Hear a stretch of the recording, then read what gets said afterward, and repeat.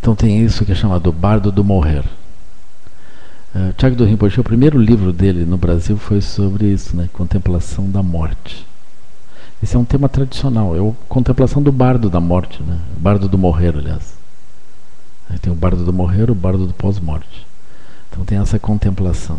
Aí Tiago do Rinpoche ele começa com esse ponto assim.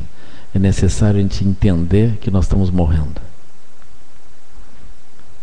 É assim, ou seja, a pessoa vai morrer, é bom que ela saiba. Agora, né? naturalmente, né? todos nós estamos morrendo, né? Mas a gente está morrendo com prazo, assim, né? Agora, morrer, o bardo da morte é quando esse processo se torna se torna é como se a, nossa energia ela se torna broxoliante, né? Aí nós, a gente melhora um pouquinho, piora um pouco, melhora um pouco, piora um pouco, a nossa energia sobe e desce.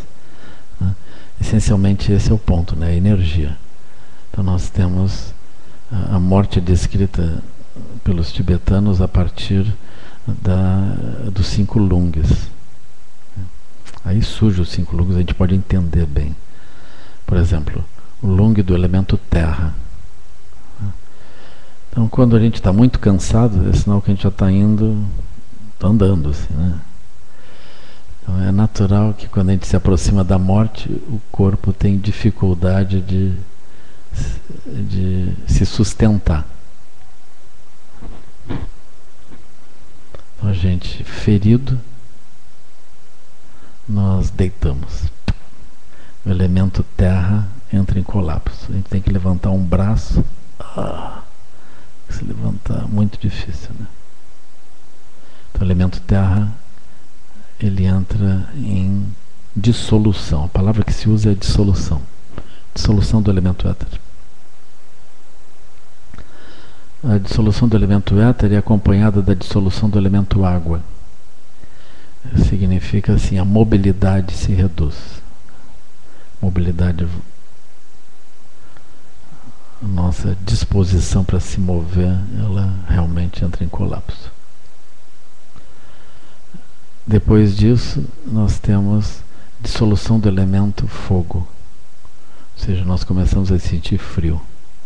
Então todas as pessoas que têm frio nas mãos, nos pés, é que já estão próximas. Seria isso assim, né? Assim, a Raquelzinha está sempre assim, meio termo já, né? E, então, aí, sentiu frio nas mãos, nos pés, ó. Olha para trás para ver se não tem uma coisa assim, né? né? Mas isso é dissolução do elemento fogo. Aqui no Rio Grande do Sul seria a falta de uma caipirinha ou de um chimarrão, uma coisa assim. Mas aí tem o elemento fogo que está entrando em dissolução. Quando o elemento fogo entra em dissolução, a seguir o elemento ar entra em dissolução. Aí vocês vão ver, né? a pessoa está prostrada, dificuldade de se mover, corpo esfriou, está com frio e a respiração está laboriosa. Qualquer coisa o coração dum dum dum dum dum dum dum. Não vou imitar completamente, que de repente eu morro aqui, né? Então eu só vou fazer mais ou menos. Né? Aí, aí a coisa piora. Ou seja, o corpo realmente pesa, a mobilidade realmente para, o corpo realmente esfria e a respiração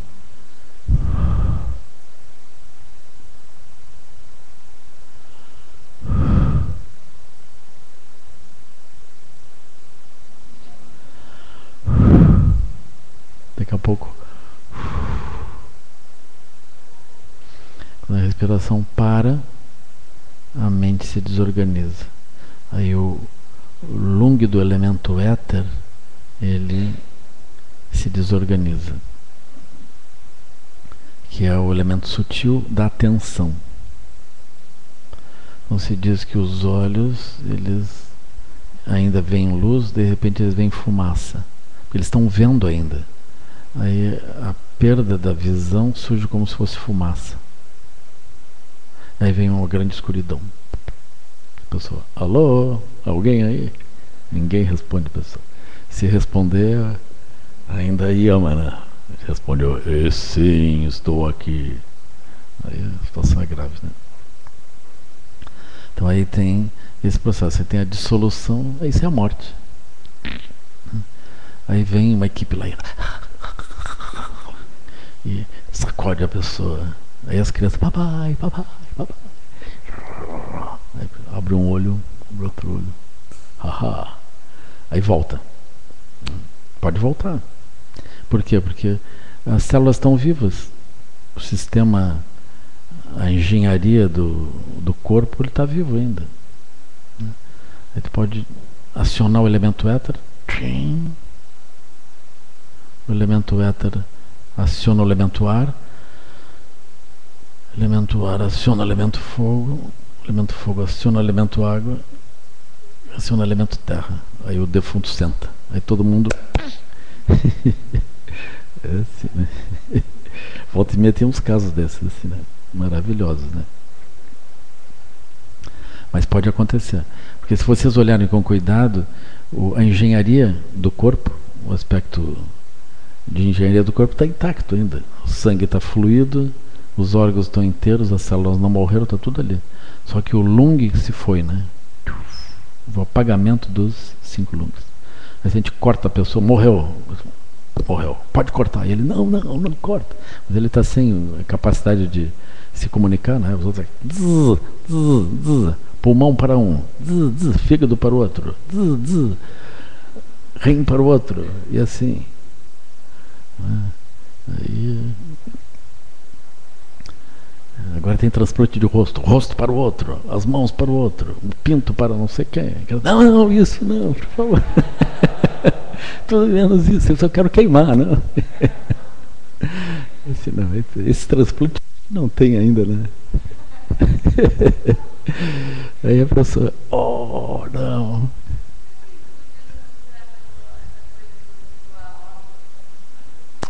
É, o Tiago do Rinpoche disse que quando a pessoa é doadora, ela é doador mesmo.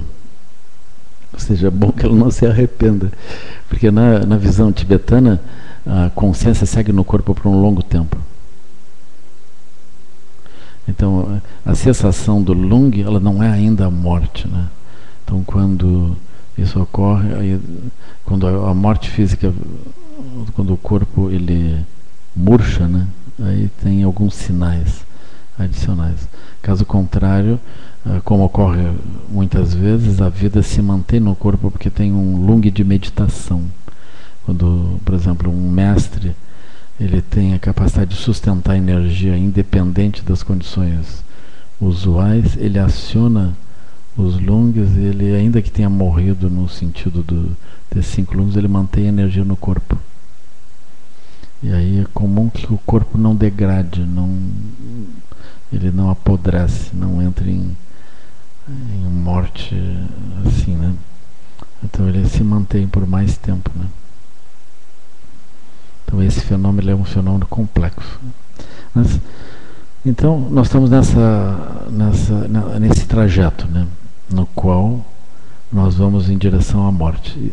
Quando então os lungs cessam e os sinais da morte surgem, então isso completa o bardo do morrer. Então tem as instruções interessantes assim sobre como é que a pessoa deve usar a mente quando vai morrer. Como é que ela pode usar a mente para atingir a liberação quando vai morrer, né? Assim. E aí, naturalmente, essas instruções dependem eh, dependem da prática que a pessoa fez durante a vida, né? Sempre tem alguma coisa para fazer, mesmo que a pessoa tenha sido um terrível. Eu acho isso bonito de ver como que Guru Rinpoche, como que, como que Chenrezig sempre consegue dar um jeitinho para dar um empurrãozinho numa direção favorável para a pessoa, por pior que ela tenha sido, né? Então essa parte do aproximar-se da morte, ela começa com essa consciência. Bom, dessa vez eu não escapo, né? daqui eu vou. Então essa consciência é muito importante Porque ela vai produzir a sensação de final de jogo. Então vem as instruções. Como é que a gente aproveita isso? Né? Do mesmo modo, tem as instruções sobre como que a gente medita, como que a gente aproveita o sonho, como que a gente aproveita a vida, e tem como que a gente aproveita o morrer.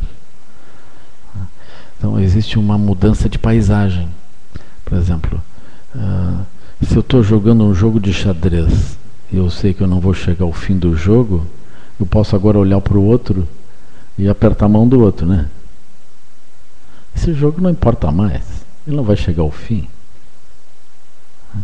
Então, quando nós estamos durante a vida, nós temos muitas coisas abertas e muito jogo duro. Nesse momento que a gente vai morrer, a gente diz, isso vai parar. Então a gente vai ter que ter a sensação de que nós vamos deixar coisas abertas. Isso é bom a gente, durante a vida, já se dar conta, né? Gente não vai encerrar direitinho a nossa vida. A nossa vida vai se interromper em muitas das nossas ações de forma abrupta, sem, sem como arrumar isso. Né? Por mais virginiano que seja a pessoa, ela não consegue encerrar aquilo a tempo. Né? Então ela vai deixar algumas coisas penduradas assim. Né?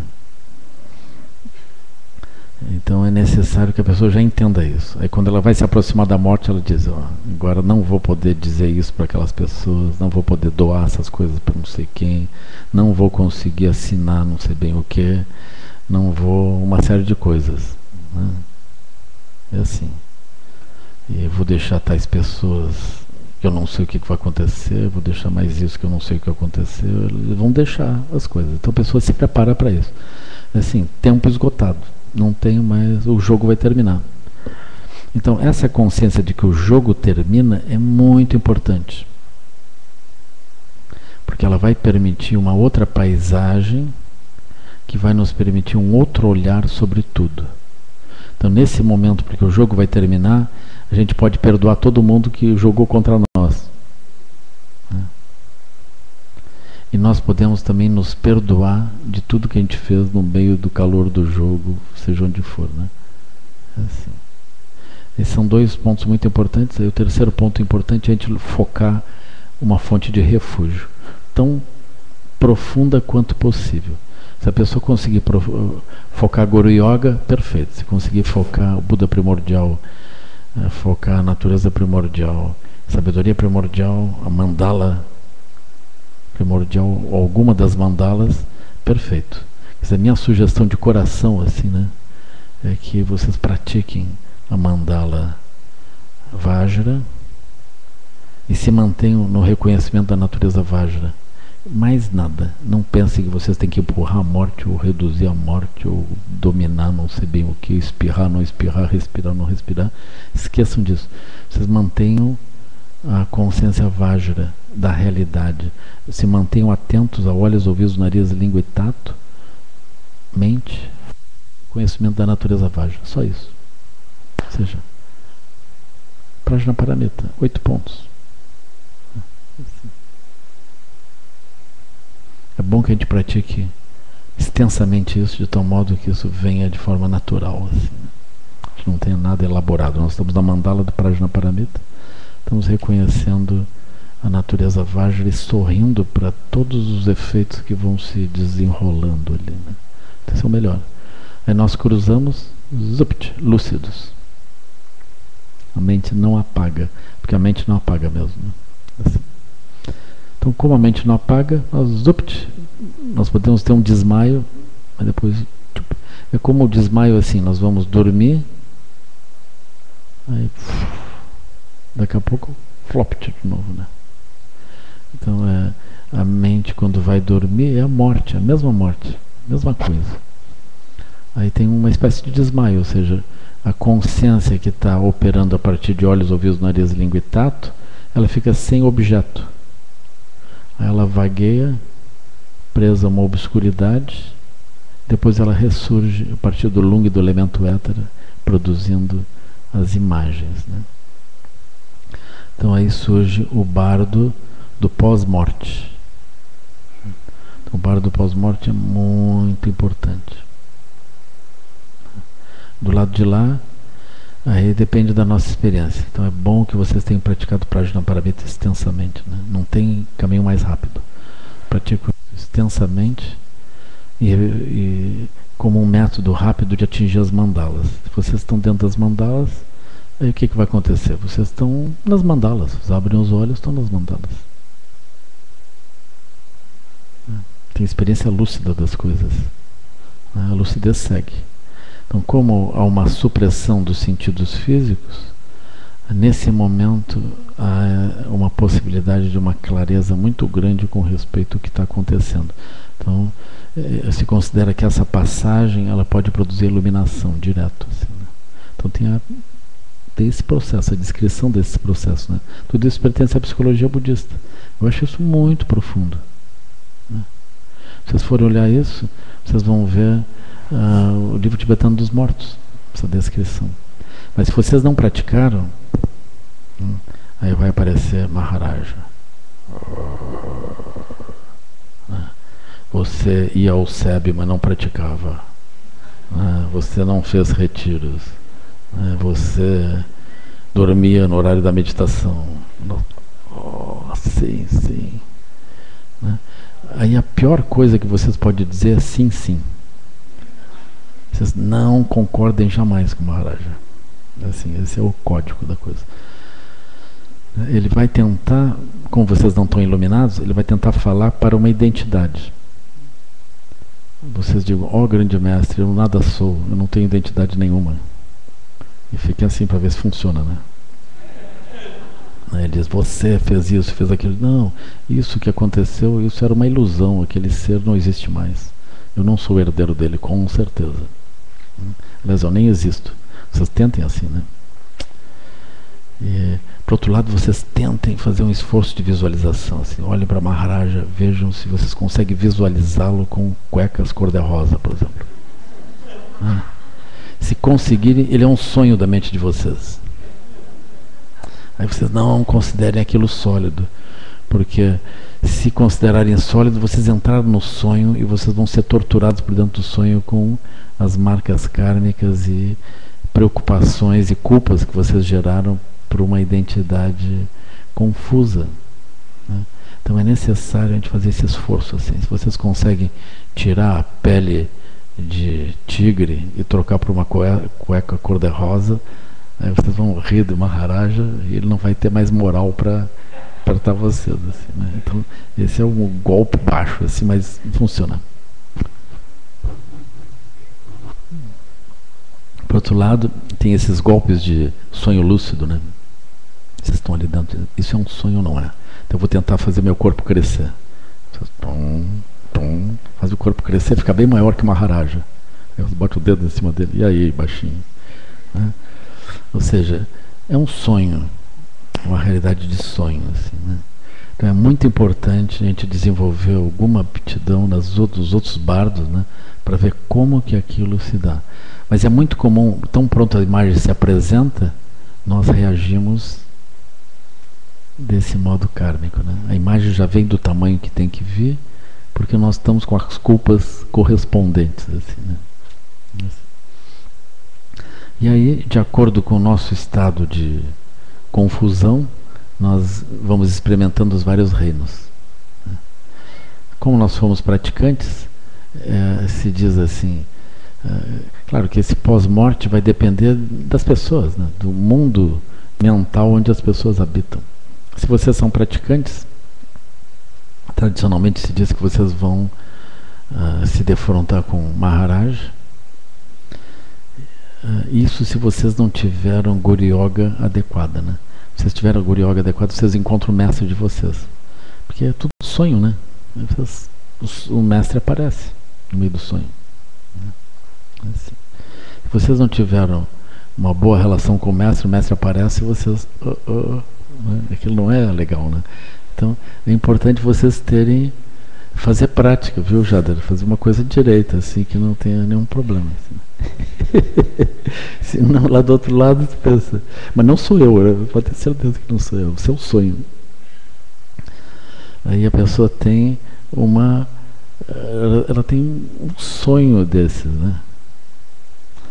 Mas eventualmente aparece Maharaja. Aí uma das descrições que eu vi assim, aparece Maharaja, Maharaja perguntei como é que era a relação sua com seu mestre.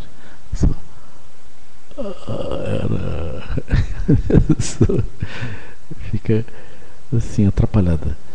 Aí, então, nessa relação com Maharaja, aí tem os ajudantes dele, né? Os assistentes de Maharaja, que são. Assim, você pode imaginar o Pelha cinco vezes maior. Hum. E aí eles nos pegam pelos pés e giram. Você foi colorado? É? Tá. e giram. Aí tem luzes de seis times diferentes. Nenhum que é o Inter. Que fica girando assim. A pessoa vai ter que escolher. No fim vai gira, gira, termina por uma razão kármica nascendo gremista.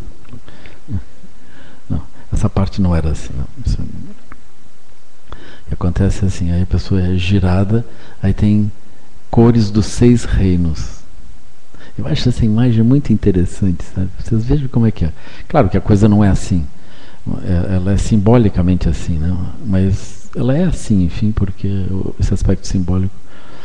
Então, essa noção de que a gente é pego pelos pés e gira, girado, enquanto a gente gira, nós vamos vendo as cores seis cores, assim, é, é, seria como seis aparelhos de TV. Aí está passando um filmezinho do Reino dos Deuses, no Reino dos Semideuses, assim, Novista Rebelde, o Tubarão. e a pessoa girando. Daqui a pouco, é meio difícil a pessoa ficar trocando uma imagem para outra. Daqui a pouco a pessoa só está vendo uma imagem, né? O tubarão, por exemplo. Aí vai renascer onde? Dos infernos, com certeza. Está vendo Titanic. Aí renasce no reino humano. Então, a, conexão kármica vai surgir disso. As coisas giram na nossa mente, mas nós terminamos nos fixando em alguma coisa. Essa alguma coisa conduz ao renascimento. Né? Se a gente tiver sorte, no meio desse encontro com o Maharaj, a gente refaz os votos de seguir o Dharma na próxima vida. E aí, como a nossa mente não está estável, ela gira. Mas a gente tem esse voto firme atrás. E, e assim a gente vai ter a benção de reencontrar um mestre. Ele, tradicionalmente se diz, a gente reencontrar o mestre. Mas o mestre, ele pode ter várias faces, né? É como se encontrar o Buda com diferentes faces, né?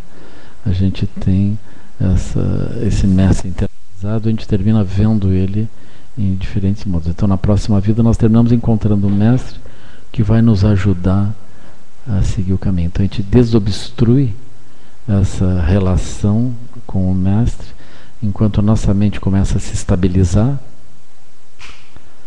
Quando ela se fixa no elemento éter, surge o elemento ar aí o elemento fogo, o elemento água, o elemento terra novamente, nós estamos dentro de um embrião, já com a nossa mente focada em direção ao renascimento. Né?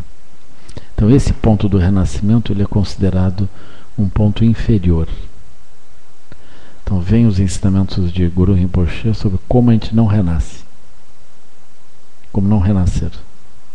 Como não renascer num corpo causal, né? Então, como a gente pode renascer como Bodhisattva, por exemplo, uma outra coisa, né? Mas tem os ensinamentos de como a gente evitar esse renascimento?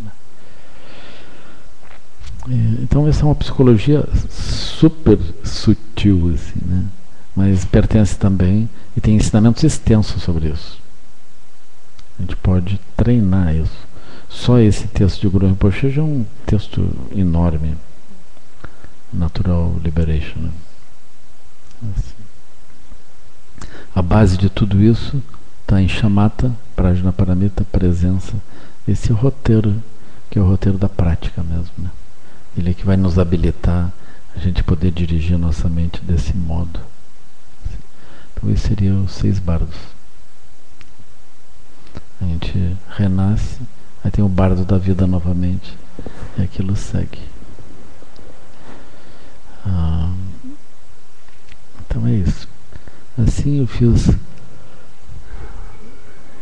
essa descrição quase como se fosse um índice. Né?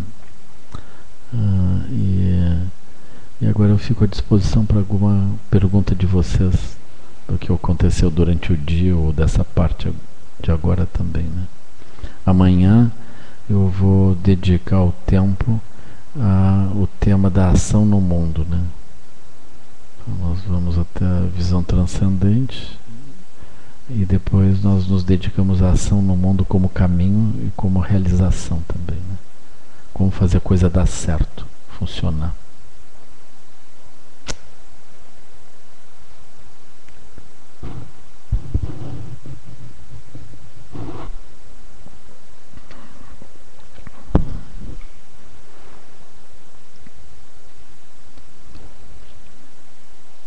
Por favor. Desculpa. É, pessoas de, de, outras religiões, por exemplo, católicos, uhum.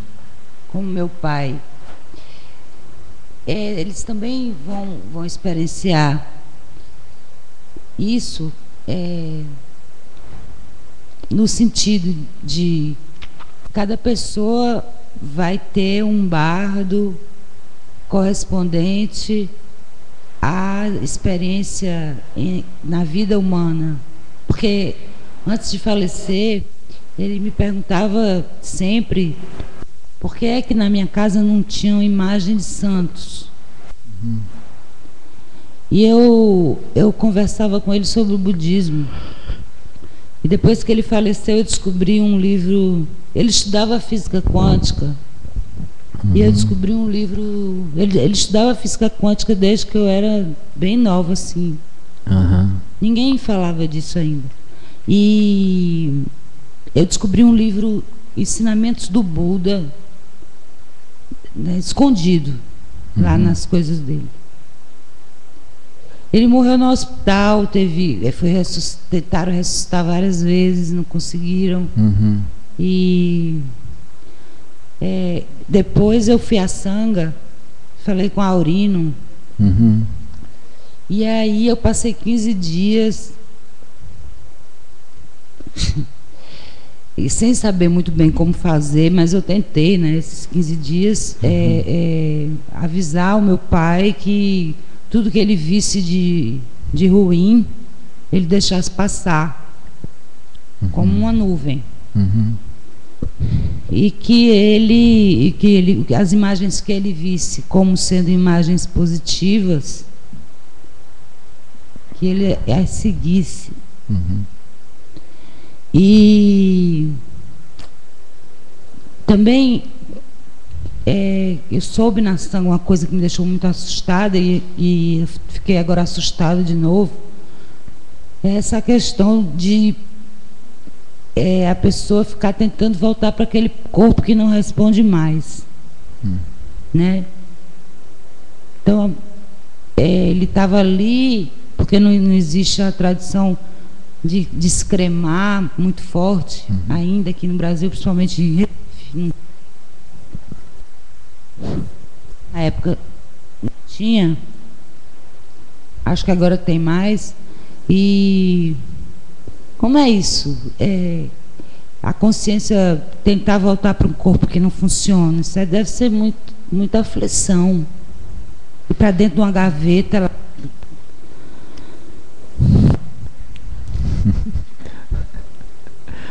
É, na verdade, a, a na descrição tibetana, o corpo é acompanhado, a consciência acompanha o corpo durante um tempo, assim, né?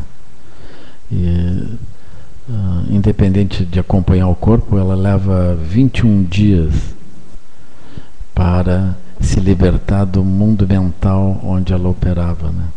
Se libertar das pessoas, das, das fixações, das coisas, ela leva três semanas ainda orbitando dentro disso. Aí ela vira e se dirige em outra direção. Naturalmente, esses números eles não são Eu, quando ouço esses números, eu fico pensando onde é que veio isso? Dia no, em sentido do quê? Dia solar, rotação do planeta Terra. Então a, pessoa, a consciência da pessoa se foi. Como é que ela está presa ainda à rotação, o tempo que vem da rotação do planeta Terra? Né? Eu olho para isso sem dar solidez. Né? Mas eu entendo o que, que eles querem dizer assim. Ou seja, a mente ela oscila. É como, por exemplo, se vocês vão, se mudam daqui, vão, vão passar férias seis meses num outro país, por exemplo, uma viagem de estudos. Aí durante um tempo vocês ainda pensam por aqui, daqui a pouco vocês estão pensando por lá. Essencialmente estão pensando por lá. Ou seja, o mundo como ele se estabeleceu, as imagens mais recentes como se estabeleceram, são as imagens que vão produzindo impressões, com o tempo nós vamos abandonando as impressões anteriores. Né? Então isso vai acontecendo assim. Então, do mesmo modo, mais criticamente, nos primeiros momentos depois da morte, é como se a pessoa tivesse com a consciência ainda ligada ao corpo. Né? Assim. E tem os mestres que se mantêm em meditação, gerando uma energia própria. Né? E tem os mestres que atingem o corpo de arco-íris. É uma outra coisa, o corpo se dissolve. Né?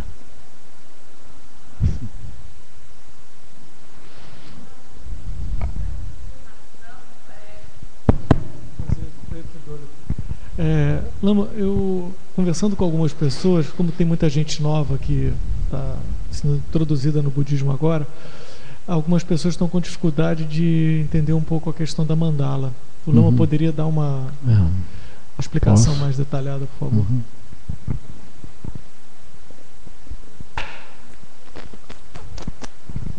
Esse tema é um tema muito sutil.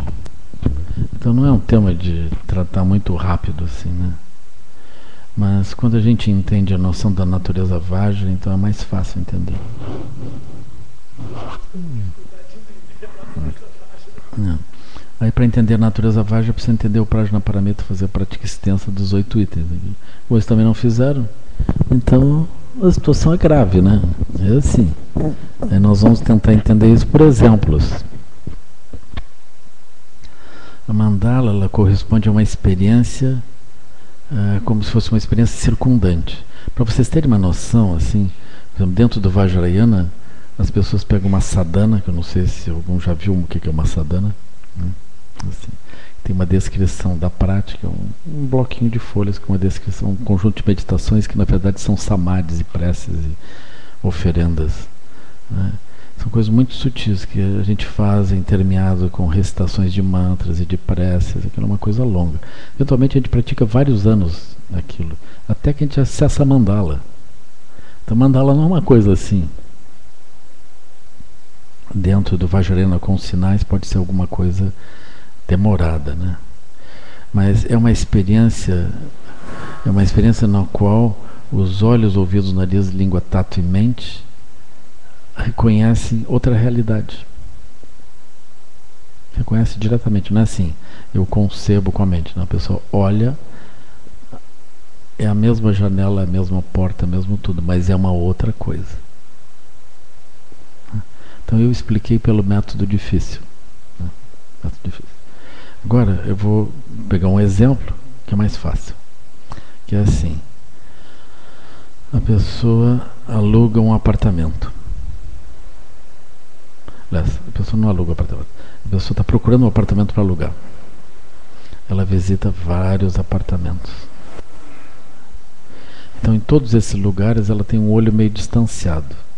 Ela não se vê morando ali dentro. Ela não vê aquilo como o lar dela ela vê como um lugar eventualmente até depressivo, né?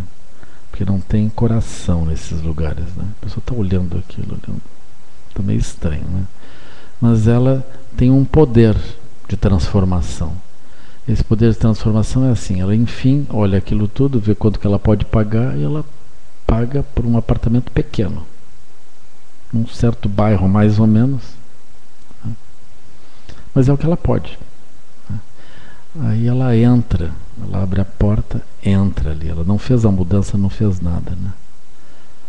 Aí ela vai tirar a compaixão que ela tem no coração, ela vai tirar o amor que ela tem no coração, alegria, equanimidade, generosidade, moralidade, paz, energia constante, concentração, sabedoria. Ela tira qualidades positivas e povoa aquele lugar assim, né? Ela diz, bom, aqui é o lugar onde eu vou viver. Aqui é assim. Aí ela olha a janela com esse olho que é a janela da casa dela. Aí ela, ela diz, aqui eu vou viver amorosamente, equilibradamente, eu vou meditar, vou estudar, enfim, aqui é um bom lugar. Também que essa sala aqui é 3 por 3 o quarto é 2,5 por 3,10. O banheiro é 1 por 1. Né? A cozinha é um metro e meio por um metro. Né? Mas está bem, aqui eu consigo ainda fazer alguma coisa. Né? Então a pessoa agradece aquilo. Se, se isso fosse aqui no SEB, a pessoa agradeceria muito. Né? Porque aqui nós estamos apertados, né? Realmente apertados. Mas aí a gente olha para aquilo, aí o nosso coração habita aquele lugar. Né? Aí no final de um mês a gente está com cortinas, está com sofá, está com algumas coisas arrumadas. Aquilo está brilhando. Então a gente abriu ali, ali ficou a mandala do nosso lar. O apartamento é igual ao que era antes. Mesma parede, mesmo chão, mesma porta meio torta, aquilo meio assim, né? No entanto, aquele é o nosso lugar, né? Assim. Então, o nosso olho agora olha o chão, a parede, etc. Aquilo é a nossa casa. Ele vê a nossa casa. Antes ele ia no mesmo lugar, não via isso. Agora ele vê aquilo. Né? No caso da mandala, o que acontece é assim. Nós estamos olhando o mundo sempre do mesmo jeito. De repente, nós entendemos Chenrezig, por exemplo, Buda da Compaixão. Aí nós começamos a examinar a realidade ao redor com os olhos do Buda da Compaixão. Aí nós vemos todos os sinais de que nós estamos na terra do Buda da Compaixão, que seria a mandala do Buda da Compaixão. É como, vamos supor que a gente veste o olhar da compaixão e começa a ver pessoas que trabalham umas pelas outras com a melhor intenção. Aí vocês olham aqui para ver isso. Vocês imaginem a Titi pintando traço por traço o coração dela espelhando as deidades aqui. Olhem os seres botando cada quadradinho aqui no chão. Olhem o trabalho da porta esculpido, colado, pregado, pintado. Vocês vão olhando assim os detalhes de todos os trabalhos Vocês vão olhando aqui o altar, as pinturas todas. Então tem um coração que foi construindo isso tudo. Esse coração se manifestou em muitas diferentes pessoas, muitas. Muitas pessoas de outros lugares também propiciaram com que para que isso acontecesse, né? Muitos diferentes pintores vieram aqui e ajudaram a pintar. Pessoas que foram embora depois. Né? Assim. E, aí vocês vão olhando a terra ao redor, e nós sempre olhando quando, como acolher as pessoas, né? Como receber as pessoas. Então, as pessoas que vêm para cá já começam a manifestar isso. Elas vão manifestando esse olho e elas ficam felizes que os outros vêm, acolhem os outros. Quando outros, os outros apresentam problemas, elas não pensam, isso não é comigo, elas pensam, isso é comigo. E elas tratam de ajudar as pessoas a superar os obstáculos. Aí começa a surgir Chenrezig. Aí nós vamos olhar também com esse olho e vemos os nossos pais nos cuidando, nossos pais pagando as nossas despesas, fazendo comida para nós infindavelmente, né? nos acolhendo num período que a gente não consegue entender nada. Né? A gente não consegue nem mesmo apoiar os pais. A gente atrapalha a vida deles. Né? Aí eles vão nos ajudando, vão nos ajudando. Então tem um coração. nós olhamos em volta e nós vemos as flores, né? As flores florindo para quem? Não é para si próprias. Elas florescem para os insetos, para a terra, para os, os pássaros. Elas produzem frutos que elas não vão comer, são frutos para os pássaros, para os insetos, para os vermes, para as lagartas. É assim. Então, é, surge uma, a gente vê uma generosidade, uma amorosidade por todo lado. É assim. E nesse sentido, nós, nós temos um olho, esse olho foca aqui e vê isso, foca ali e vê isso, foca em todo lugar. Aí nós temos a experiência da mandala, que é como um ambiente, né, que é como um lar também, que a gente olha todo pedaço de coisa que a gente vê dentro da nossa casa, a gente nem precisa raciocinar, a gente vê aquilo como da nossa casa. Né? Se vem alguém pega aquilo que quer levar, a gente imediatamente vê a mandala da nossa casa. Gente, como é que você vai levar isso que é meu? Isso aqui é dessa casa, né? Você não vai levar isso. Então aquilo brota um alarma, né? Por quê? Porque nós temos aquela mente. No caso da, da compaixão, nós temos outra mente operando. Mas é uma mente que opera de modo natural. Ela é, é completamente direta no que ela está vendo. Aí surge a mandala. Aí todas as mandalas estão sempre superpostas, elas estão presentes, uma por uma das deidades. Os grandes mestres, eles descobrem as mandalas. Eles, desde a sabedoria primordial, eles começam a olhar as coisas e vão vendo. Aí tem a mandala dos cinco Budas que está presente aqui dentro. A mandala de Tiresiga que está presente, a mandala de Vajrasattva. E aí todas as mandalas nós vamos reconhecendo. Assim, né? Isso.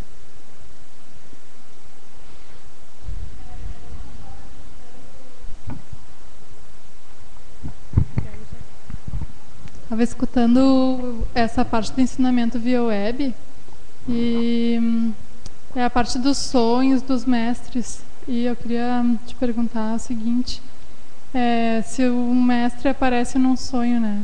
A partir uhum. do momento que tu não sabe que aquele ser que apareceu é um mestre uhum. e tu comenta com alguém, alguém te mostra, na verdade era um mestre que apareceu uhum. no teu sonho. É, uh, como se faz a partir daí, que foi essa parte que eu vi que tu estava falando sobre os mestres que aparecem no sonho? É, tu pede mais uma indicação para que venha de novo ou vai atrás desse mestre que apareceu no sonho? Hum, o mestre que aparece no sonho, ele representa, como hum, o Sogyal Rinpoche diz, ele representa o mestre interno. O mestre interno representa uh, representa flechas da sabedoria primordial. Então, como nós começamos a encontrar aqui e ali lucidez dentro de nós, a gente pode desenvolver uma sensação de que existe uma região que eu pergunto para dentro dessa região, essa região responde. E pode ocorrer da gente uh, conceber isso como se fosse um mestre dentro de nós, ou como se fosse nosso diálogo com uma dimensão muito profunda dentro de nós. Né? Aí nós vamos seguindo. Aí pode ocorrer que mais adiante a gente localize alguém que quando fala, a gente sente que ele está falando como o nosso mestre interno fala. Então, o Sogyal Rinpoche diz, esse é um momento muito importante que é quando o mestre interno se encontra com o mestre externo. Aí nós vamos legitimar o mestre externo porque nós já temos uma familiaridade com o mestre interno. Se a gente não encontrar o mestre interno de algum nível, a gente não consegue encontrar o mestre externo. Essa é uma razão pela qual nós também, no budismo tibetano especialmente, se diz que a pessoa não atinge iluminação sem encontrar o mestre externo. Em primeiro lugar, isso não é verdadeiro. Né? Tem grandes exemplos de que isso não ocorreu, como, por exemplo, do John Limpa, que é um mestre extraordinário. Ele é emanação de, eh, de corpo de um grande mestre do passado, que era um dos 25 discípulos de Guru Rinpoche. Era emanação de fala de Yash Tsogyal, emanação de mente do próprio Guru Rinpoche. Então, um super mestre. Mas ele não teve nenhum mestre físico, nenhum mestre concreto. Né? Ele atingiu uma autoliberação, né? porque ele ouviu os ensinamentos diretamente de Sambhogakaya do, das dimensões de sabedoria direto. Assim, né? Mas, uh, de modo geral, quando esse discurso interno começa a ocorrer, a pessoa, ao encontrar alguém do lado de fora que fale sobre isso, ela encontra o seu mestre, né? mestre externo. Então, ao encontrar o mestre externo, esse encontro com o mestre externo, na verdade, é uma manifestação da sabedoria interna. Por isso que quando a pessoa está prestes a atingir liberação, inevitavelmente ela tem um mestre interno. E aí ela termina encontrando o mestre externo. Né? Agora, do John Limpa, ele teve muitos grandes mestres que apareceram para ele, mas todos no plano sutil. Então ele se encontrou com cada uma das deidades de Sambogakaya, assim, diretamente. Né? Ele tinha essa, essa experiência visionária, né? ele tinha esse estado psicótico, assim, né? ele via uh, as deidades, só que deu certo, né? Assim, desde criança ele via, né? Assim. Diz que a mãe dele prendia ele pelo pé na, na mesa e ia trabalhar, saía de casa, deixava ele sozinho. Aí ele não tinha o que fazer, ele acessava os mundos sutis. Assim, né? Se ele tivesse computadores em casa, joguinhos disso, daquilo, não tinha atingido a iluminação. É, com certeza. Como? Ah, com certeza. Se tivesse tido passado por uma avaliação, né, ele estava tomando Ritalina.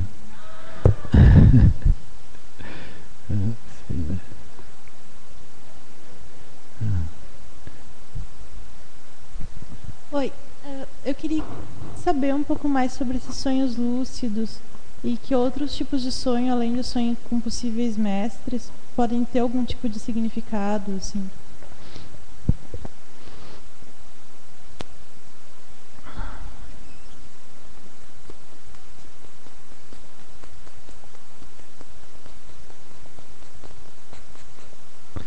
O ponto é assim, ah, os sonhos eles vai, vão depender da prática de chamata, o chamata.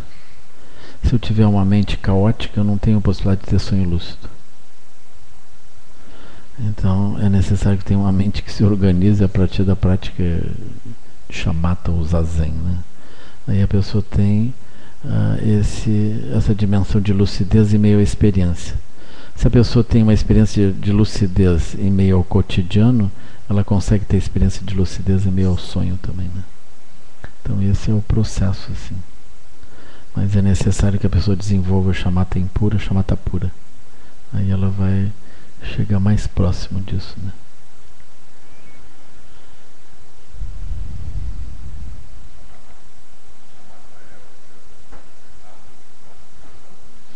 Uh, tem várias formas de chamata, né? Várias formas, assim, várias vários processos de observação.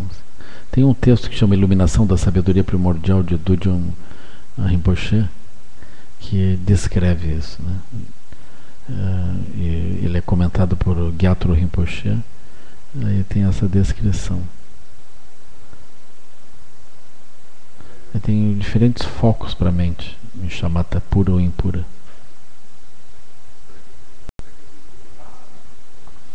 Vipassana, na visão tibetana, corresponde à sabedoria. Na visão da tradição Vipassana, corresponde a chamata, né, que é silêncio. Né? As pessoas fazem um retiro de Vipassana, é 10 dias de silêncio. Né? Isso. Esse silêncio, de modo geral, a gente chama de, de chamata. A gente não chama de Vipassana. Vipassana estaria mais próximo do Prajna Paramita, que é compreensão, sabedoria.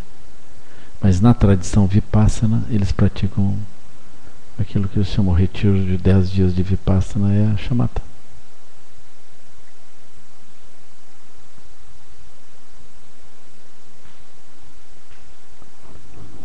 Lama. Uhum. Uhum. Uh, a minha pergunta é com relação ao karma. Uhum. É, como é que ele funciona é, nessas passagens pós-morte? É, nos, nos ele funciona como funciona na vida, porque a esse nível não tem diferença. O karma não está não, não tá dentro do corpo. Do mesmo modo a mente. A mente não tem localização, o karma não tem localização.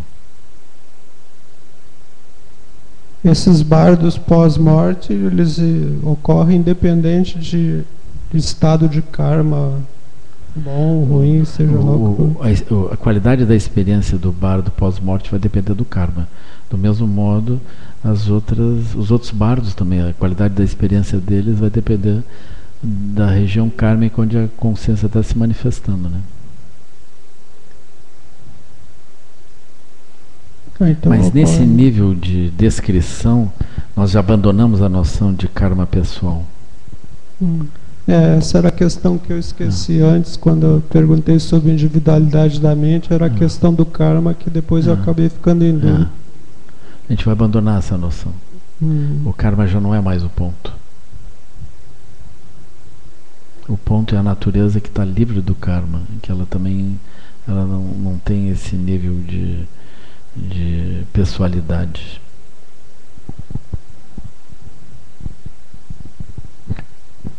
Na nossa experiência, nós vamos reconhecer que o karma ele está associado às paisagens mentais.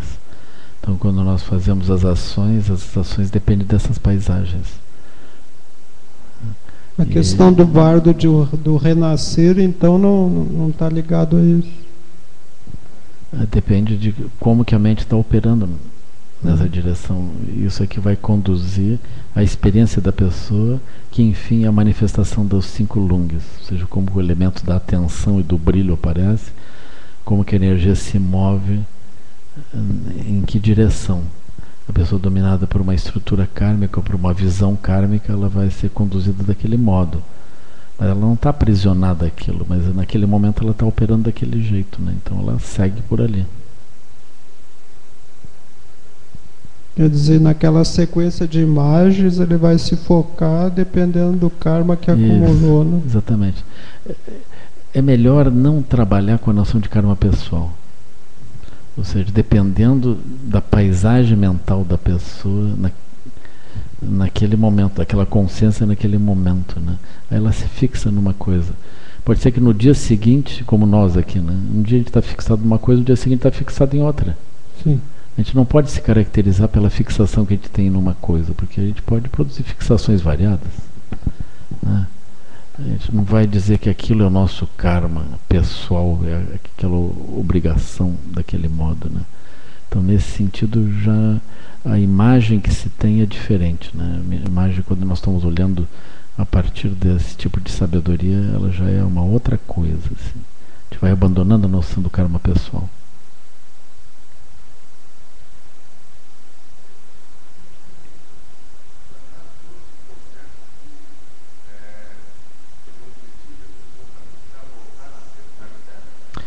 Essa noção de objetivo ela também não, não existe. A gente não trabalha com isso.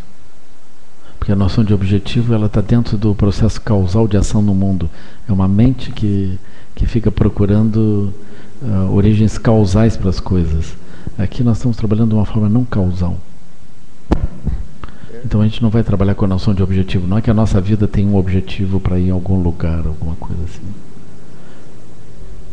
A iluminação seria não voltar para o planeta Terra? Não reencarnar para o planeta Terra?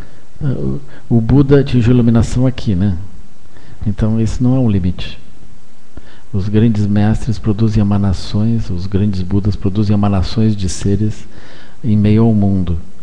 Então isso não, não é um limite, não é um, não é um ponto. E não existe essa coisa aqui na Terra.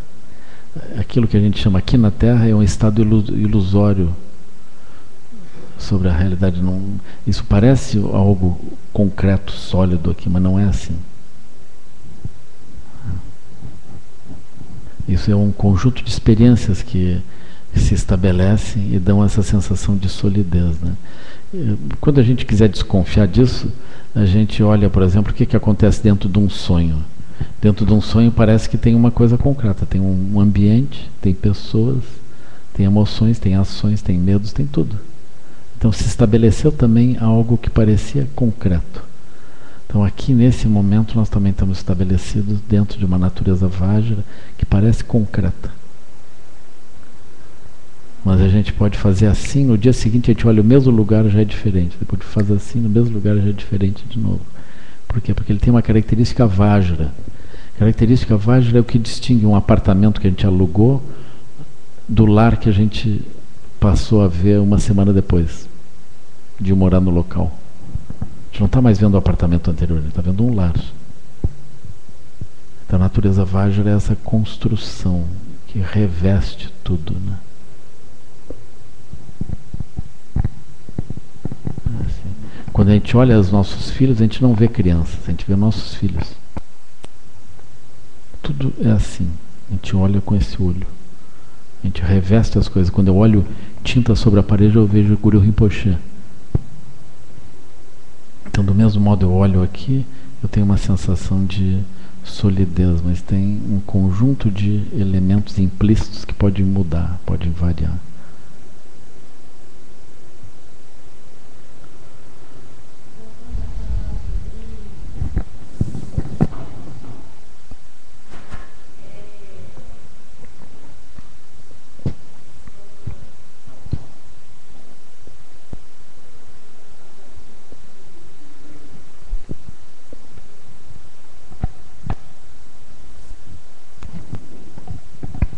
Voltando a falar sobre outras tradições.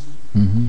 Antes de eu vir para cá, eu assisti ao filme sobre a vida de João Paulo II, Hum. Papa João Paulo II, Uhum.